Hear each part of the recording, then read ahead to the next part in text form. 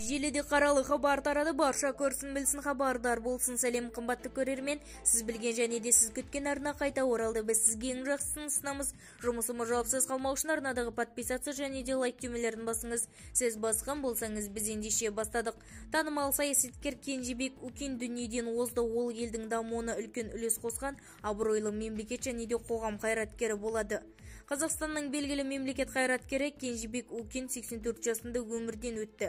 Қаралы хабарды әлеуметтік желідегі қостанай облысының әкімі құмар ақсақалов хабарлайды деп хабарлайды айкын кз кенжебек укинович укиннің өмірден озғаны туралы суыт хабарды зор күйзеліспенен қабылдадық.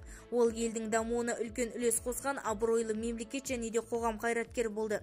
Кенжебек укинович еңбек жолында мұғалімдіктен бастап облыс әкімшілігінің басшысына дейінгі ұзақ жолды жүріп өтті. Ол әсіресе қазақстанның тәуелсіздігін қалыптастыру жылдарындағы қиын кезеңдерде ерен еңбегіменен танылды. Марқұмның отбасы менен жақындарының қайғысына ортақтасып көңіл айтамыз. Оның еңбегіменен парасаты болашақ ұрпаққа әрдайым үлгі болып қалады деп жазды облыс әкімі. Бізді тамашалауды жалғастырыңыздар және де бір ғана лайк түймесін басып сау саламатта болыңыздар.